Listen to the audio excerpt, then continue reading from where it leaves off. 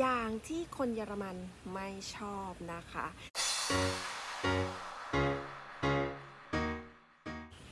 สวัสดีค่ะ วันนี้ก็มาเจอกับแจ็คอีกแล้วนะคะ วันนี้แจ็คจะมาพูดถึง 7 อย่างที่คนเยอรมันไม่ชอบนะคะ 7 อย่างที่เราต้องระวังเมื่อเราไปเจอคนเยอรมัน หรือการถามการพูดการปฏิบัติ หรือแม้จะเป็นการเริ่มต้นในการสนทนาค่ะ วันนี้เราจะมาพูดเรื่องนี้กันนะคะ เรื่องแรกที่เราต้องระวังนั่นก็คือเรื่องการพูด z หรือว่าดูนะคะ z เนี่ยหมายถึงคนที่เรายังไม่เคยรู้จักเห็นเป็นครั้งแรกหรือว่า การที่เราอยากจะรู้จักใครสักคนเนี่ยแล้วเราจะเริ่มสนทนาเนี่ยเราก็ต้องเรียกเขาก่อนเลยค่ะว่า z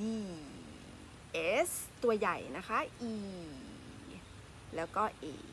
นะคะ ตัวนี้จะเป็นสระ e นะคะ ไม่ใช่สระ e ถ้าสระ e ก็จะเป็นแค่ตัว e ตัวเดียว แต่ถ้ามี a ข้างหลังก็จะเป็น z ลำคอสันนะคะ s z นะคะ แล้วก็คำว่า do เนี่ย ก็ส่วนมากแล้วจะใช้กับคนที่เรารู้จัก เพราะฉะนั้นในการเจอใครครั้งแรก เราขอแนะนำไม่ให้พูดคำว่าดูนะคะคำว่าดูเนี่ย ใช้กับเด็ก หรือว่าคนที่อายุน้อยกว่า หรือว่า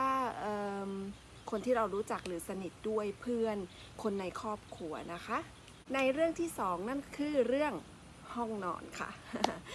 จะเป็นลูกเป็นหลานเป็นพ่อเป็นแม่ การที่จะเดินเข้าไปในห้องนอนของเขาเป็นการเสียมารยาทมาก ถ้าเกิดเรายังไม่ถาม เราอาจจะขึ้นต้นประโยคด้วยประโยคที่ว่า darf ich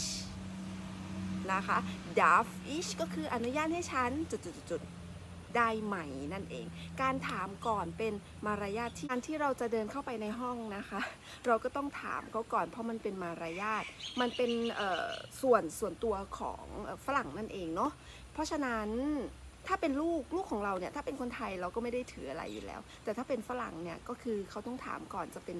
พ่อถามลูกหรือว่าแม่ถามลูกก่อนต้องขออนุญาตเขาก่อนเนาะเพราะมันเป็นพื้นที่ส่วนตัวเขาอาจจะไม่ค่อยชอบเท่าไหร่อาจจะโกรธเราก็ได้ อีกเรื่องหนึ่งที่ใกล้เคียงกันนั่นก็คือเรื่องที่ 3 การขออนุญาตถ่ายรูปค่ะ การถ่ายรูปในเเขตเยอรมันหรือประเทศเยอรมันเนี่ยค่อนข้างจะยากนิดนึงนะคะ เพราะเขามีขอบเขตของเขา เพราะฉะนั้นประโยคที่มีชื่อว่า darf ich ก็ยังใช้ได้อยู่เหมือนเดิมนะคะโอเคเอ่อการถามก่อนที่เราจะถ่ายรูปหรือ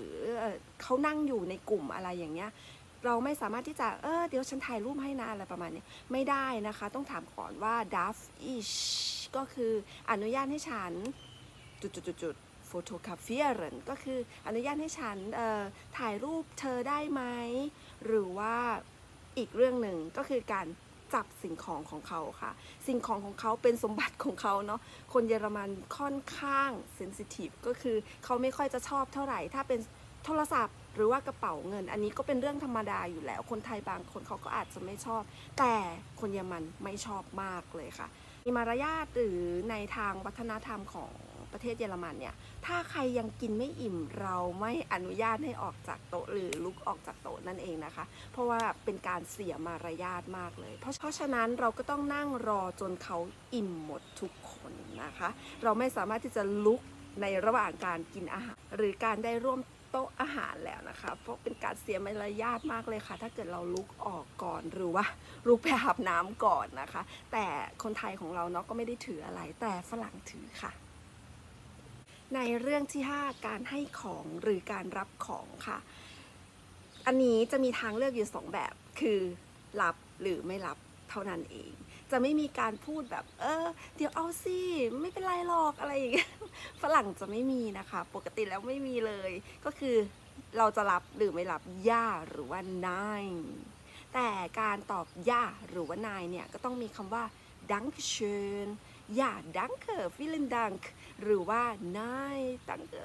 wirklich nicht ประมาณนี้นะคะ ก็คือถ้ามีใครมาให้ของเราอย่างเงี้ยอาจจะไม่ใช่ของขวัญแต่ของขวัญเนี่ยเรารับได้ปกติแล้วใช่ไหมคะแต่ถ้าเป็นของที่แบบเออให้กินอะไรอย่างเงี้ยหรือว่าเราไม่อยากกินเราก็สามารถตอบได้ว่า nein danke vielen dank อย่างเงี้ยก็ได้แต่ว่า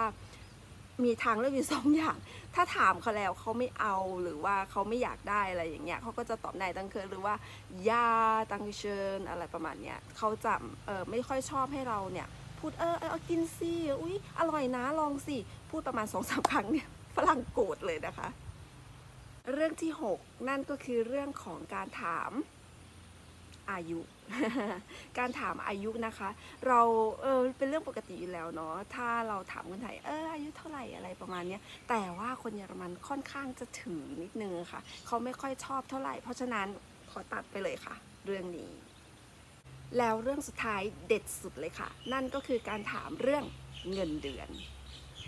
คนเยอรมันหรือชาวเยอรมันเขาจะไม่ค่อยชอบให้ถามเรื่องเงินเดือนเท่าไหร่อาจหรือจะเป็นสามี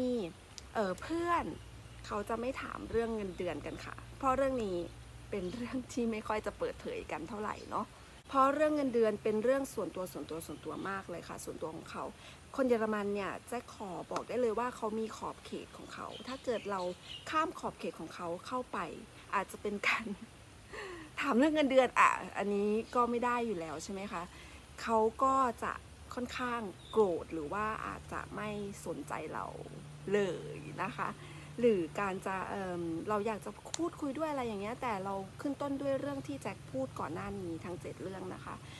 เขาอาจจะไม่สนใจเราเมินหน้าหนีเลยก็ได้ เพราะฉะนั้นค่อนข้างจะเซนซิทีฟนิดนึง ค่อนข้างจะไม่โอเคนิดนึงถ้าเราพูดเรื่องประมาณนี้นะคะ เพราะฉะนั้นแจ็คขอแนะนำให้ ตัดออกไปเลยค่ะ พูดเรื่องอื่นดีกว่า หรืออาจจะเป็นการถามวิกเกสเซียเอ่อวัสมักซูหรือว่าถ้าเป็นคนที่เราไม่รู้จักก็อาจจะถามไปเลยค่ะ wie geht es Ihnen เอ่อ was machen Sie hier ถ้าอยู่เมืองไทยก็จะเป็น was machen Sie hier in Thailand wie lange bleiben Sie hier in Thailand wie finden Sie das Wetter ist hier warm für Sie เราก็ถามไปเนาะ แต่เรื่องพวกนี้เรื่องส่วนตัวที่เขากั้นขอบเขตไว้จะขอแนะนำให้ตัดออกไปเลยค่ะ อย่าไปสนใจเนาะ ถ้าเราเข้าไปก็อาจจะเป็นการมีการโกรธกันได้นะคะ โอเค วิดีโอนี้แจ็คก็หวังว่าอาจจะช่วยให้ทุกคน วันนี้จะไม่ได้เรียนภาษาเยอรมันค่อนข้างเยอะแต่จะเป็นการเรียนการปฏิบัติหรือการเป็นลักษณะของคูทัวก็คือเอ่อวัฒนธรรมของคนเยอรมันนะคะโอเคแจ็คก็หวังว่าวิดีโอนี้จะช่วยทุกคนได้นะคะ แล้วเรามาเจอกันใหม่ในวิดีโอหน้าค่ะวิดีโอนี้ลาไปก่อน Auf Wiedersehen Tschüss